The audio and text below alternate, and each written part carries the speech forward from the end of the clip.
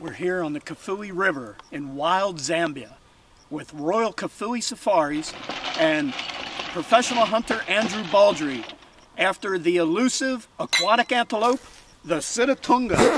Oh! So Joyce, this seal walks please? into a club. I'm trying to hunt!